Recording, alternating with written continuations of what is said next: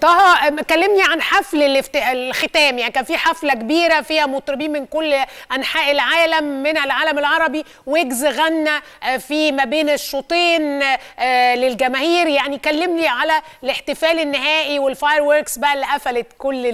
هذه الاحتفالية الكبرى. يعني هو الاحتفالية اليوم كانت بالتأكيد تجميع لكل المغنيين اللي عملوا الأغاني أو اللي هم نفذوا الأغاني الخاصة أو الأغاني الرسمية لكأس العالم.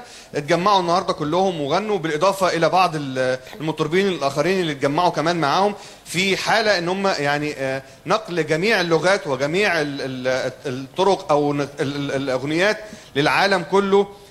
من خلال هذا الحفل الرائع جدا حتى طريقة ال fireworks اللي اتعملت كمان كانت رائعة جدا حتى فيما بعد النهائي أو بعد تسليم الكأس. وده كمان امتداد لحفل الافتتاح كان كمان رائع في بداية المونديال. حتى تكون القصة من البداية إلى النهاية قصة رائعة استمتع بها كل عشاق كرة القدم. في الجانب الآخر برضو عشان ما ننساش الحديث عن المنتخب الفرنسي جمهور الفرنسي لازال يعني حزين وغاضب لكن ربما كانت البوادر واضحة من المؤتمر الصحفي بالأمس. ديشامب لم يكن لديه الثقة الكاملة. الحديث نفسه الطريقة التي كان يتحدث بها الإعلام مع ديشامب الأمور التي كانت خاصة بكريم بنزيما والهجوم بعض الصحفيين حتى اتكلمت معاهم بشكل شخصي قالوا إنه ربما لو خسر فرنسا في هذا في هذا النهائي ستنفجر كواليس كثيرة خاصة بالمنتخب الفرنسي. سنرى ماذا سيحدث. حتى الصحف الفرنسية لم تنتظر عناوين الآن ظهرت بشكل